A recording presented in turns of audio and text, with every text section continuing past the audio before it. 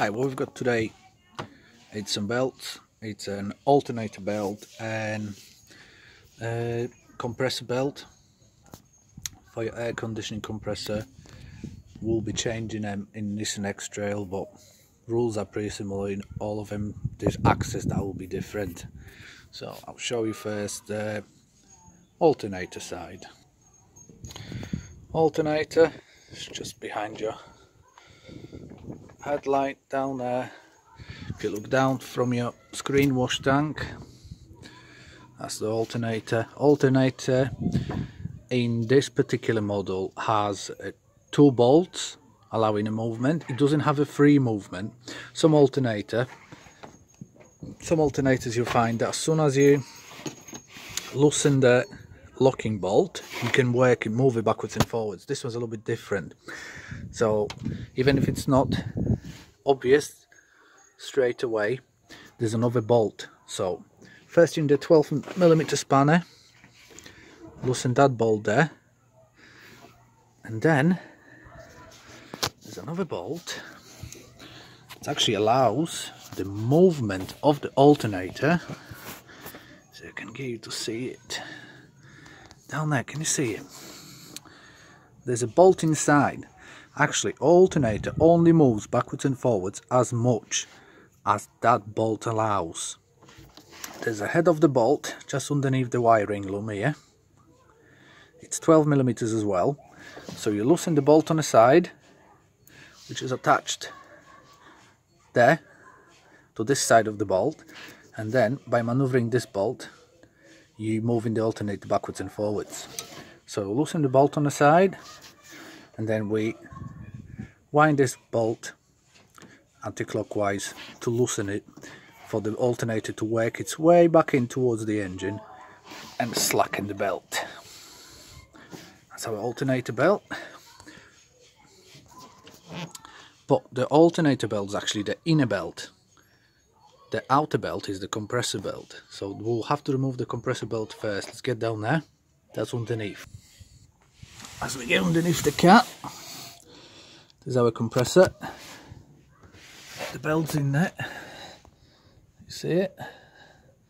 That's the belt. These vehicles got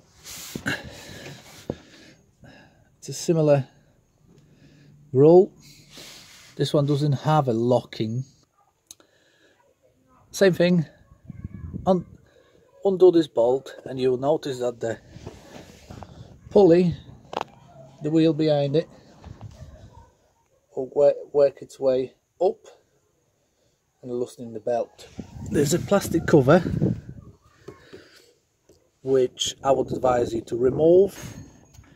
You've got one clip here, one clip is right in the corner. Supposed to have three more clips or bolts here. Got a clip there holding this panel. Got a clip that is missing. There was a bolt there I was trying to undo it and snapped it. And one bolt there. I'll have to drill this out and insert the clip in there. Once you've taken the cover off see that's our belts see that's the pulley. This is our compressor. That's the drive belt. Top one bottom one. Oh and top pulley. Now let's loosen them out drop them out see how bad they are. First we'll undo the bolt compressors. There's that one underneath then we'll move to the alternator so remember underneath the compressor then there's a little pulley in the middle and that'll be coming off first then alternate two bolts on top. And you can just take the belt out. We've got the belts out. This one unfortunately I couldn't even use. I'm glad the compressor belt doesn't wear that quick because it's a little bit too long when it comes to alternator belt it's actually if you can tell half the teeth are missing Look at the state of that. Look at the cracks in it. It's terrible. Absolutely terrible state. Teeth are missing. So alternator belt definitely needed changing. Compressor belt, this one's the wrong length. Oh, go back to the top.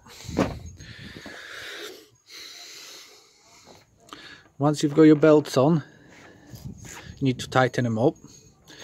So remember, you've got one bolt at the side. The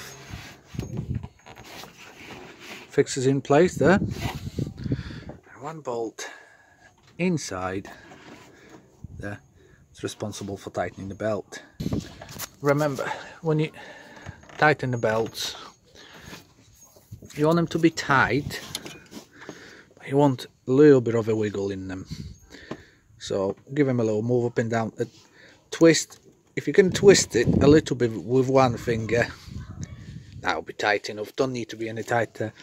If you put too much pressure on it it's a bit of a moment. If you put too much pressure on the belt, you might damage bearings in one of the pulleys or alternator or other ancillaries. So be careful. Tighten it, but make sure there's some sort of play in it.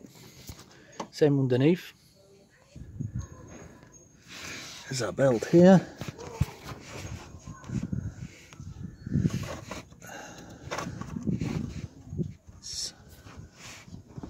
You can see it it's tight but there is a bit of a play on it so we know it's not putting too much tension on the bearings. I can move it easily with one finger without pulling it away from the reel. That's what you want. Give a little twist. So